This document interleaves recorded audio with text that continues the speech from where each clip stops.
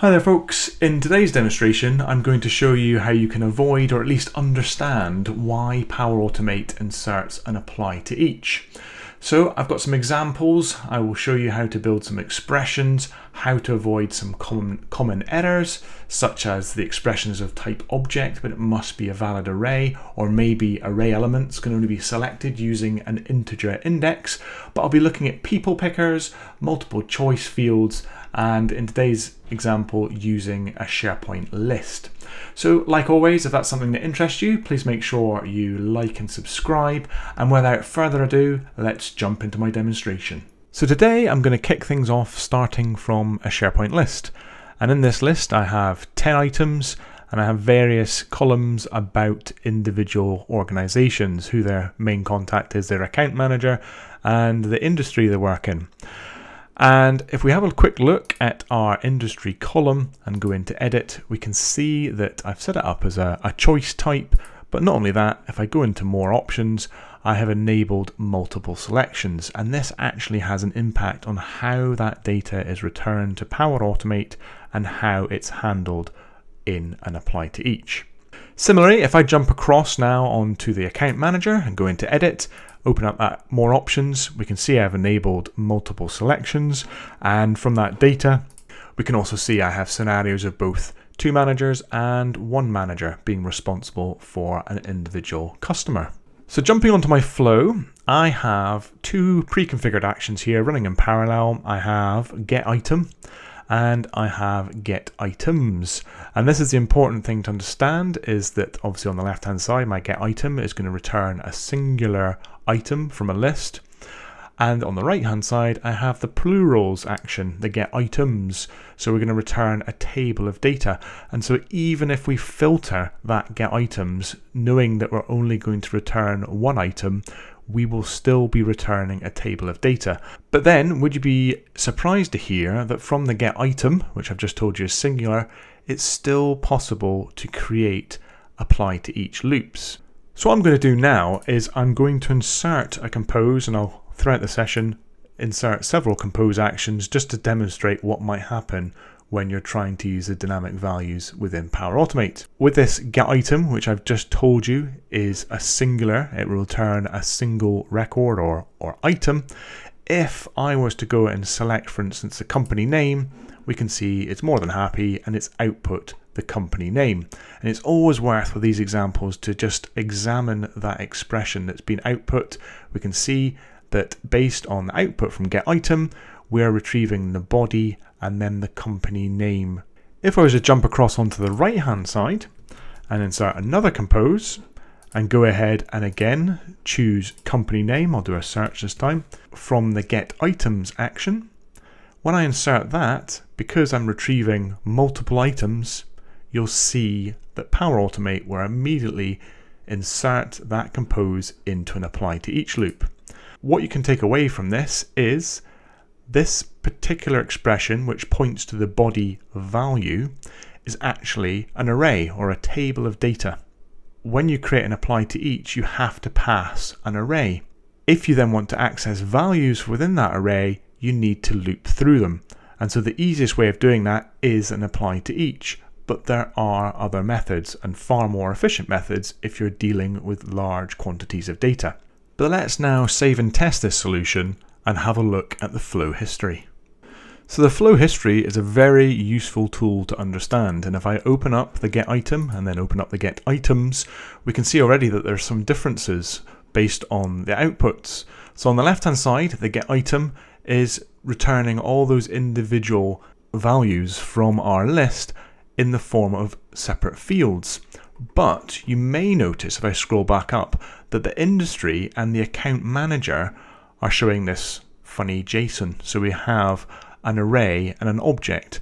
So the square brackets indicate an array and then these curly brackets indicate an object and each of those objects are the equivalent of a row in a table. So when it comes to the account manager below here, we can see we have a squiggly bracket there, followed by a closing squiggly bracket, which is our first record in that array or first object. And as I scroll down, we have a new squiggly bracket followed by a closing squiggly bracket, and then the closing bracket for the array. So we can see we have two records within that array, which is two objects.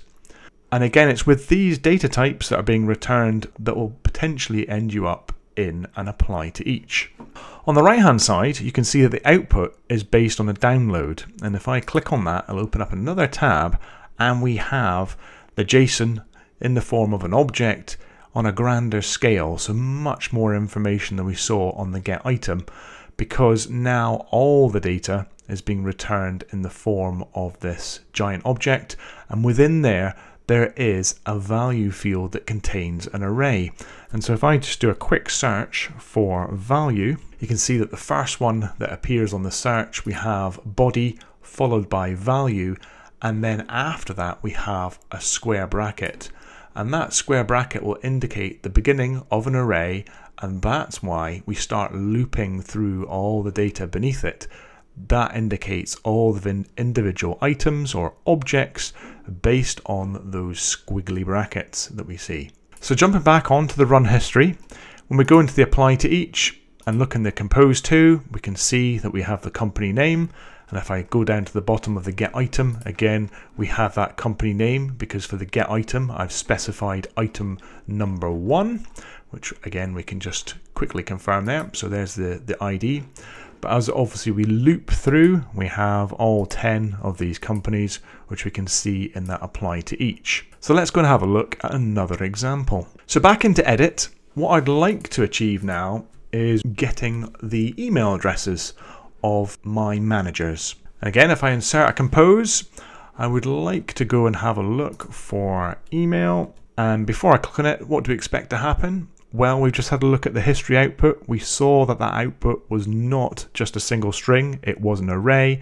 So if I click on it, Power Automate will put us into an apply to each loop. Now the reason this happens, as we saw in the history, is that the account manager email forms part of an array and therefore, as we see, Power Automate puts us into an apply to each. But what if we wanted to get all of those email addresses, whether there's one or many, into a string that are, for instance, separated with a semicolon. We could insert a variable and with that variable we could then append. So if we were to initialize a variable here and I could call it string and set the type to string. Within that apply to each we could then add an append to string action and we could loop through all of those email addresses and we could append them to this string, like so. Now, whilst this isn't too much of a, a burden in terms of efficiency to our flow, if you imagine doing this on a grander scale, it's soon going to grind things to a halt. So if you're ever doing any data manipulation, I would seriously advise you consider looking at a select. So as a comparison, what I'm now going to do is underneath this is to do exactly that. Add a select action. And with that select, my from is going to be based on the data that comes back from this particular expression. So the great thing about understanding the apply to each is we can now steal some of these expressions that have been used because an apply to each needs to have an array as an input and that's exactly the same for a select. So we know that if we use this account manager expression as the input to our select, we can then change the map to just the email address. And we can understand the expression required for email by again hovering our mouse, albeit we're not going to be using items apply to each, but we will replace that with item and the open close brackets followed by the question mark for email. So let's now go and add the account manager into our select. So I'll search for manager and we can see I have the dynamic value there for account manager. And if I hover my mouse over, we can see it's the outputs with the body account manager. Now the easiest way to create a string of those emails is to use this text mode. And with that text mode enabled, we can then go and search for any of the fields that relate to that account manager. So if I put account manager email, for instance, we're now going to be creating an array that just has those, emails. Now with that array, we need to join them. And there are two ways to do that. You could use a compose or an action I don't use very often, but let's demonstrate it, is the join. And so it's the friendly way of joining the values of an array into a string. And so we can take the output from that select, which is now our array of those email addresses, and we can join it with a semicolon. Now, in order for us to see the output of our variable from the first apply to each, just as a comparison, I need to insert another compose and then I can choose that string. And if we go in now and save and test that, if we open up that apply to each, we can see it's looped through two records, of which we have both Alex and Henrietta and they will have been appended to a string. And if I look at compose 4, we can see there they're added to that, that string as, as output. But equally, if we look at that select, which is one action versus potentially however many times it's looped through this apply to each, it's taken the array that has the objects and within that object we have picked out the email address and in return as an output we have this array here of emails. Then by using that join action you can see that we now have those emails joined with a semicolon in the middle and there's nothing else at the end. Now, eagle-eyed might have noticed that I haven't created a semicolon list here within our apply to each. That's because I didn't include the semicolon as part of the append to array variable. So I'm going to go and make that change and then retest it. So I'll add in that semicolon there. And if we then go and have a look back at the history, if we pop open the compose at the end, we can see we now have a semicolon, but we also have a semicolon at the end. The join, of course, has the semicolon, but it does not have a semicolon at the end. So back into edit, I'm now going to have a look at some examples with our get items. And whilst we're applying or looping here, what I'd like to do is actually just retrieve the first company name from this list. And I can create an expression based on what we see in this apply to each to output just the first company name. If I insert a compose, by looking at these expressions again, we can see that we have the output from body value. So a body value will be our array. And then if we look at the company name, we can see the field name there, which is company name without a space. So when it comes to try and query or output the first record from an array, there is an expression. It's called first. And what first is looking for is, first of all, an array, because it will look for the first record or object from an array. So if I jump back into the dynamic tab, you'll notice that I have both the body and the value, but I know that it's the value that contains my array that I want to look at based on how this apply to each has been constructed. So I can insert that, and at the, at the end of this particular expression now, if I put in a question mark and some square brackets and single quotes, I can type in the name of the field that I'm looking to query. And I know from when I inserted into that compose, it output company name. So I can add that there in the single quotes and hit OK. Now a common error or a common mistake when constructing expressions or using these things across other actions is seeing an error about values can only be selected by using integer indexes. And this is a perfect opportunity to demonstrate that. Now, when constructing your expressions, if for instance, I was to use the same expression as before, so I'll go and just insert a space, dynamic content, pick value. If I was to edit that and include a question mark, square brackets, single quotes, and then company name. At this point, of course, I'm trying to retrieve the value for company name from an array, but that array has multiple objects. So how do I select that, that specific company name? If I hit OK, the expression is save fine, but if I then go and save and test, we can compare the output of both 5 and 6. So you'll see from the flow history that 5 has run, 6 has failed as expected. If I pop open 5, we've got Abata, which is our uh, first company name from all the items within our list within get items. And if I pop open 6, you can see an error message here about you cannot evaluate this because company name cannot be selected. Array elements can only be selected using an integer index. And that's where that first expression comes into play in that it allows you to select the first object from an array, but equally, if you want to select the first or the fourth, you can use an integer index. So let's have a quick look at how to do that also. So back into edit, if I pop open this expression, we can either wrap the expression that I've now highlighted on screen with that expression first in order to retrieve that first object and therefore the first item from our list, or we can use integer indexes And you do that simply by adding a couple of square brackets after our array. So we know that the value is our R array. And then we can insert an integer. The only confusing thing here is to remember that the integer index starts from zero. So if you're looking to get the first, you can insert zero. If you're looking to get the second, it's one. If you're looking to get the fifth, it's four. And so if I update that and save it, this time around, the expression will run and it will retrieve the fifth item based on that integer being 4. So if we pop open our compose, we can see that we have Oyuba. And if I go into my apply to each and jump forward to number 5 and pop open that compose, you can also see that we've got Oyuba. And that demonstrates how we can query a company name from an array based on an integer index. So finally, what I'd like to do is to output the industries. And if I go into the inputs there and do a quick search for my industry, of course, it's a multiple choice.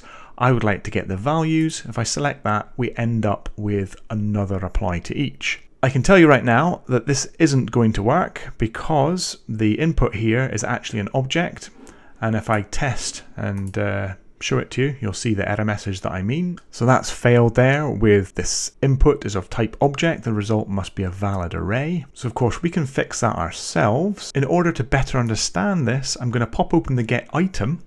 And if we look at industry, we can see that industry is an array. So we can use that as an input to a select or to an apply to each.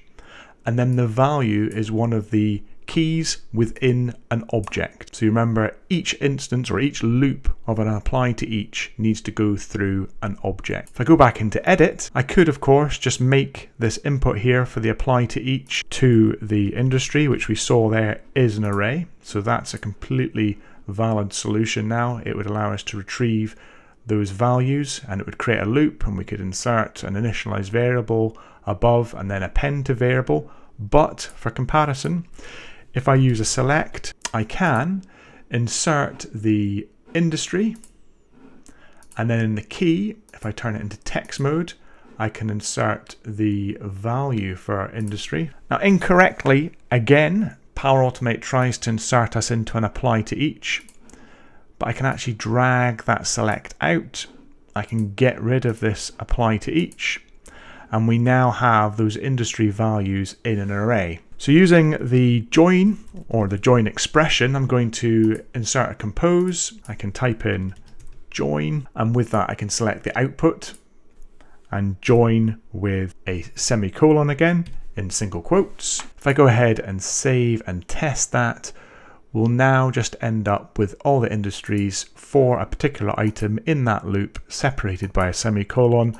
In all my examples, I only have one industry but it's allowed us to select the values and it enables multiple choice to be selected going forward, but within a nested apply to each loop because we're retrieving all the get items.